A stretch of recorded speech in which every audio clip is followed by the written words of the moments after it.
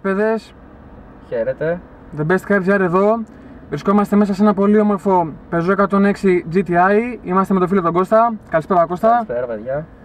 Για πες μας τώρα λίγα λόγια μηχανικά. Το αυτοκίνητο τι φοράει; Φοράει σκούπα πρόγραμμα εξάτμιση, τα κλασικά, Ωραία. με 54 εξάτμιση.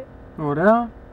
Απόσασμαν. Απόστασμα φοράει 1359 συν έχει μπλοκέ. Αυτά είναι. Από Ε, φρένα; Από φρένα είναι τετραπίσωνα μπρέμπο. Ωραία. Έχει σφυρίλατα πιστόνια Wosner. Ε, ροϊκή εξέλιξη, κεντροφόρους Piper Cams, Αυτά είναι. ελαφρωμένο βολάν, βαλβίδες ενισχυμένες ώστε κάποια- κάποια στιγμή να κάνω κάποιο ε, ψέκασμα. Σωστός. Ε, αυτά μου έρχονται τώρα. Στα πόσα άλογα το υπολογίζεις; Είναι δυναμομετρημένα 175 άλογα. Είναι ό,τι πρέπει για τη Ναι. συγκεκριμένη καρότσα αυτά τα άλογα. Είναι για παιχνίδι. Αυτό, αυτό ακριβώς. Ε, μεγάλη να το χαίρεσαι. Ευχαριστώ πολύ. Εύχομαι στο μέλλον να το φτάσεις εκεί που θέλεις. Ε, πάμε να το δούμε και με ένα ρηγματάκι. Βεβαίως, ναι. Να είσαι καλά. Γεια σας παιδιά.